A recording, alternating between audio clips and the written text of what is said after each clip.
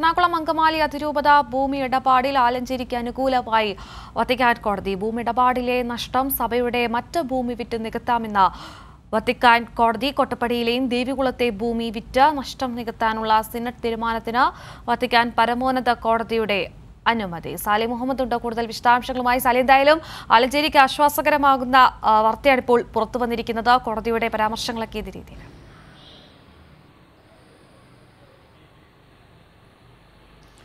അതായത് നമുക്കൊക്കെ അറിയുന്നത് പോലെ എറണാകുളം അങ്കമാലി അതിരൂപതയിലെ ഭൂമി ഇടപാട് വലിയ വിവാദമായതാണ്. ഭൂമി വിൽപ്പന സഭയ്ക്ക് വലിയ നഷ്ടം ഉണ്ടാക്കി വെച്ചു എന്നൊരു വിഭാഗം വാദിക്കുന്നു. അത് വൈദികർക്കിടയിലും വിശ്വാസികൾക്കിടയിലും വലിയ ഭിന്നത ഉണ്ടാക്കിയൊരു കേസാണിത്. ആ തർക്കം ഇപ്പോഴും കോടതി വ്യവഹാരങ്ങൾ മറ്റുമായി മുന്നോട്ട് പോകുന്നു. അപ്പോഴാണ് വത്തിക്കാൻ വത്തിക്കാനിലെ പരമോന്നത കോടതിയുടെ തീരുമാനം ഇപ്പോൾ പുറത്തു വന്നിരിക്കുന്നത്.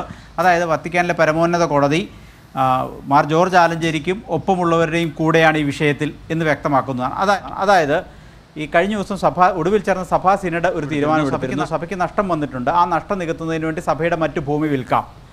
കോട്ടപ്പടിയിലെയും ദേവികുളത്തെ തോട്ടമടക്കമുള്ളവ വിൽപ്പന നടത്തി ഈ നഷ്ടം നികത്തി മുന്നോട്ട് പോകാം എന്നുള്ളതായിരുന്നു സിനഡിന്റെ തീരുമാനം. ആ സിനഡിലും വിശ്വാസികൾക്കിടയിലും ഒക്കെ ഭിന്നത ഉണ്ടായൊരു തീരുമാനമാണിത്. പക്ഷേ ഇപ്പോൾ ഒരു കാര്യം വ്യക്തമാവുകയാണ്. ഈ സഭാ സിനഡ് എടുത്ത തീരുമാനത്തിനൊപ്പമാണ് വത്തിക്കാൻ എന്നുള്ളതാണ്.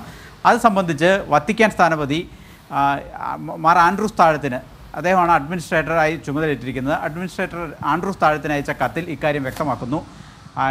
അപ്പസ്തോലിക് ന്യൂൻഷോ എന്ന് പറയുന്നത് സഭയുടെ ഓരോ രാജ്യത്തിന്റെയും സ്ഥാനപതിയാണ്. അങ്ങനെ അദ്ദേഹം എഴുതിയൊരു കത്തിൽ വളരെ വ്യക്തതയോടെ പറയുന്നു ഇക്കാര്യത്തിൽ സഭയുടെ പരമോന്നത കോടതി ഒരു തീരുമാനമെടുത്തിരിക്കുന്നു ആ തീരുമാനം എന്ന് പറയുന്നത് ഭൂമി സഭയുടെ മറ്റു ഭൂമി വിൽപ്പന നടത്തി ഈ നഷ്ടം നികത്താം എന്നുള്ളതാണ്.